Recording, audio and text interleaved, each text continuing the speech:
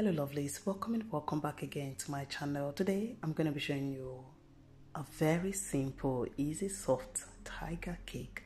Have you heard of that? Tiger cake.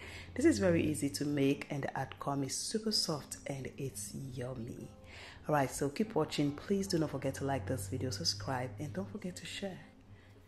All right so the first thing you want to do is grab a large mixing bowl. Into that you want to transfer your eggs sugar a pinch of salt and now grab your hard whisk and just beat this on high speed until it's pale.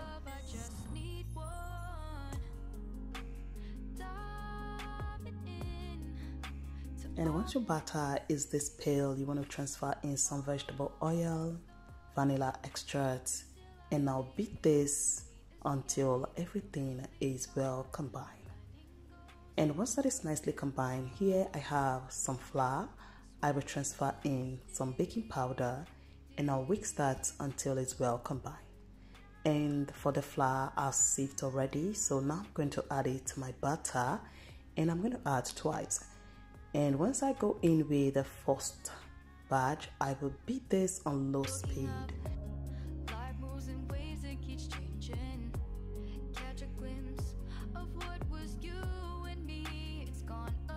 Alright, so next we are going to scrape down the side of the bowl and once that is nicely done, I'm going to transfer in some milk. And then beat this to combine and then we are going to go in with the rest of the flour and I'll beat this on low speed until it's nice and beautifully combined. And make sure you're not over beating or over mixing this just do it on low speed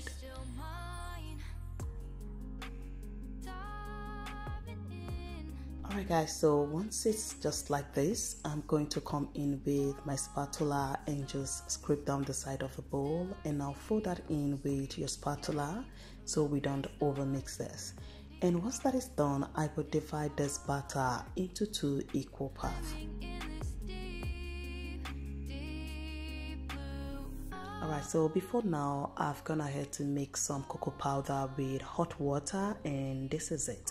So all you need is add 2 tablespoons of cocoa powder into a bowl, add some water, like 2 tablespoons of hot water and just mix that nicely to combine.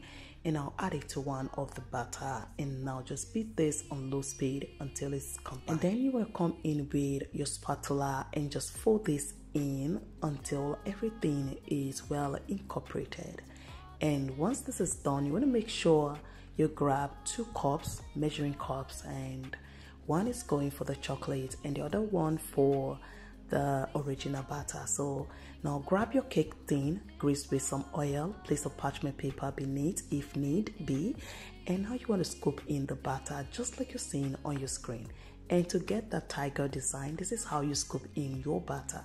So first go in with the original batter and I'll go in with the chocolate just like you're seeing on your screen and once that is done grab a toothpick and give it this design and now we're going to transfer this to our preheated oven and bake at 160 for 45 to 50 minutes or until a toothpick comes out clean. So if you've watched to this point and you're still watching, thank you so much for your time and support.